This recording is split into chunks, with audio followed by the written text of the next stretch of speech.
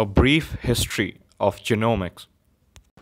Genomics is an interdisciplinary field which focuses on the structure, function, evolution, and mapping of genomes. So, we must first know what is meant by genome. Genome is an organism's complete set of genetic information. The genome contains all the information needed to build and maintain an organism. Genomics is a relatively new discipline. It is difficult to pinpoint a particular year of origin, but it could be said that it started in 1871 with Frederick Miescher identifying nuclein in the cell nucleus. In 1904, Walter Sutton and Theodore Boveri proposed the chromosomal theory of inheritance.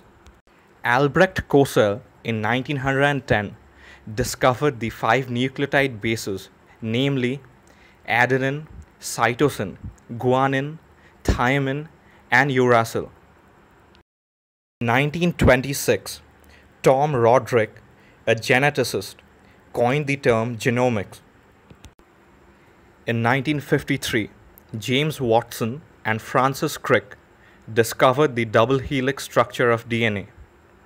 In 1980, Frederick Sanger, Walter Gilbert, and Paul Berg shared the Nobel Prize for pioneering DNA sequencing methods.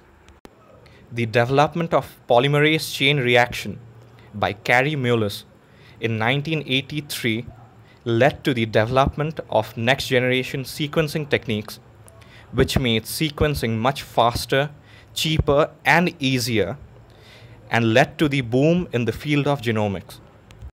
Since the 1990s, thousands of genomes have been wholly or partially sequenced, starting with Haemophilus influenzae in 1995. In 1996, the genome of Saccharomyces cerevisiae was sequenced, making it the first eukaryotic genome to be sequenced. The first multicellular organism to have its whole genome sequenced was the nematode Caenorhabditis elegans in 1998. In the year 2000, the genome of Arabidopsis thaliana, the model plant, was sequenced. In 2001, the Human Genome Project published a draft of the human genome. In 2002, the genome of house mouse was sequenced. In the same year, the genome of Anopheles gambiae, the principal vector of malaria, was also sequenced. In 2004, the genome of red jungle fowl was sequenced. The red jungle fowl is the direct ancestor of domestic chicken.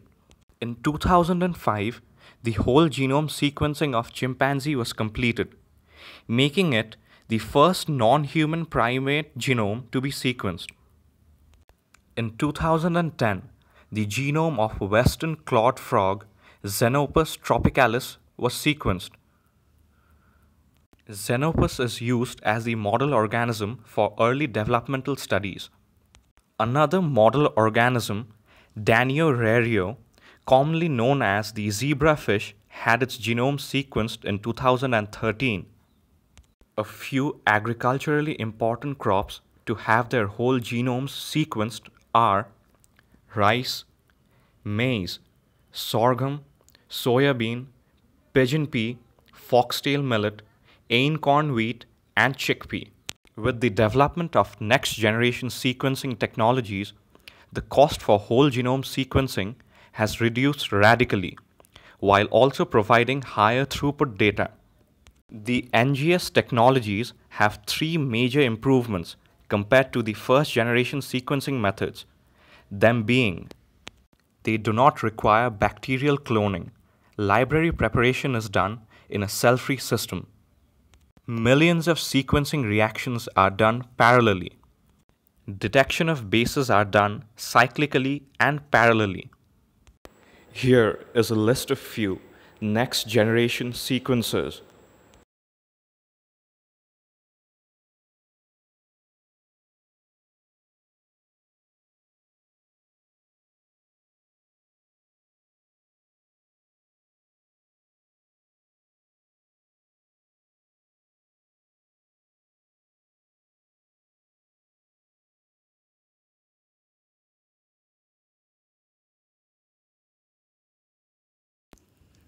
I do hope that you've learned something new today.